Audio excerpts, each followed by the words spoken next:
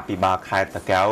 គឺអាដាមឡាយវណ្ណៈកាលពីថ្ងៃម្សិលមិញបានប្រមានប្តឹងក្រុមហ៊ុនហយហៀងទៅកាន់សាលាដំបងខេត្តប្រសិនបើជាក្រុមហ៊ុនមួយនេះមិនព្រមប្រគល់ទីលានដ្ឋានពិឃាតស័ព្ទបើជូនរដ្ឋវិញការប្រមាននេះគឺធ្វើឡើងបន្ទាប់ពីក្រុមហ៊ុនអឺហយហៀងដែលទទួលបានសិទ្ធិវិនិយោគភាស៊ី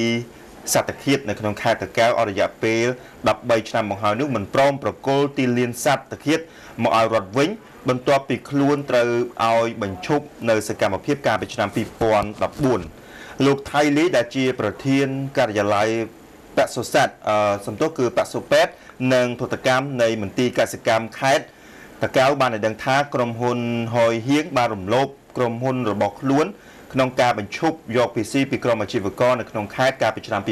2014បើតាមលោកថៃលីទីលានដ្ឋានពិឃាតស័ព្ទនៅក្នុងខេត្តមួយនេះគឺមានចំនួន18កន្លែងដែលគ្រប់គ្រងដោយក្រុមហ៊ុនខាងលើហើយនៅពេលនេះក្រុមហ៊ុននៅមិនទាន់ប្រគល់ទីលានដ្ឋានជូនមន្ទីរកសិកម្មវិញទេខណៈដែលក្រុមហ៊ុនកំពុងតែប្តឹងផ្ដាល់មន្ទីរកសិកម្មទៅសាលាដំបងខេត្តដោយចោទថាមន្ទីរកសិកម្មថាដើរប្រមូលលុយពីខាងក្រុមអាជីវករខុសនីតិវិធីក្រុមហ៊ុន ជុំវិញករណីខាងលើនេះអាដាមឡាយវណ្ណៈអភិបាលខេត្តតកែវបានប្រតិកម្មថាភាគីក្រុមហ៊ុនត្រូវតែប្រគល់ដី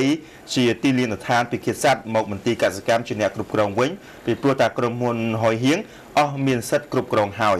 អាដាមឡាយវណ្ណៈបានបន្តទៀតថាក្រុមហ៊ុនហយហៀងកំពុងតែបង្កភាពស្មុគស្មាញដល់ក្រុមក្រុមអាជ្ញាធរហើយបើក្រុមហ៊ុនមួយនេះនៅតែបន្តធ្វើបែបនេះគឺអាដាមនឹងប្តឹងក្រុមហ៊ុននេះទៅកាន់សាលាដំបងខេត្តហើយ